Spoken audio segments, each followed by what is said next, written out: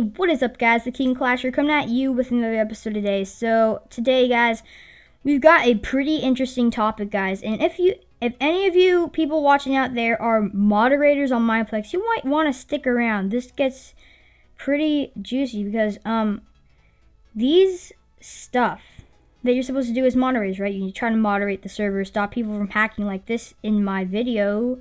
This guy's using fast bow and um you try to moderate the server, keep it clean, keep it nice and stuff. Well,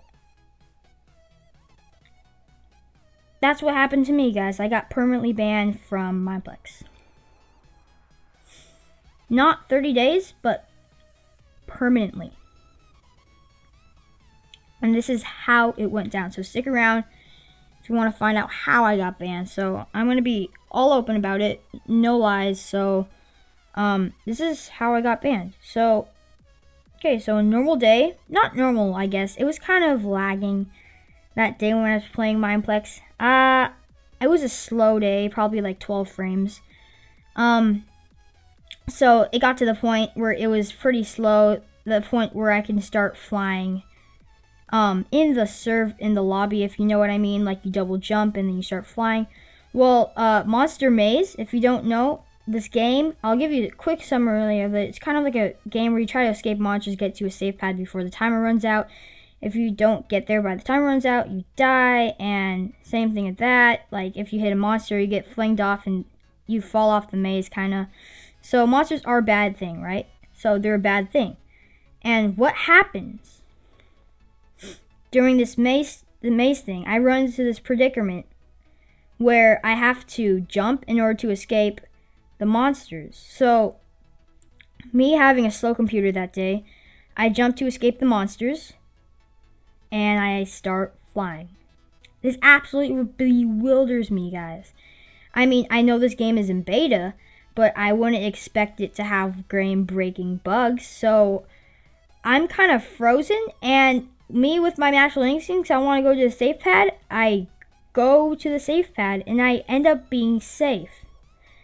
This absolutely astonishes me because I have no idea what has been happening because I thought my computer was broken, so I restarted my computer and same thing, slow computer, same predicament, get up in the air and I start flying. And I was like, whoa. And so I decided to do some research. And guess what I found in the forums? Yep, the exact same thing. Honestly, guys, I don't I don't know what to say. It was just crazy because I can fly in Monster Maze without having any like problems. And this absolutely astonishes me. Like how did they not fix this? How did they not patch it in its non-beta time before it got released? So there are some other people that have gotten this before and they haven't been banned for it, but the next time I do it, I don't even go to a safe pad. I just go there in the air, and I'm kind of astonished, so I kind of freeze, and then I get kicked permanently by a moderator. So, what what it says when I'm hacking, when I when it says when I log into Mineplex now, it says permanent ban. Per I'm permanently banned for fly hacking from safe pad to safe pad. And guys, this is totally bogus because what what the thing says here is no hacking. This is absolutely just not true. This is an actual thing that you can look up by yourself and you can see that Monster Maze is actually has some bugs in it. And trust me guys, it's still in beta, so there's plenty of other bugs to be achieved. This probably could be found pretty easily by most anyone that tries to do it, but I found it on accident multiple times, multiple instances in the same predicaments, guys.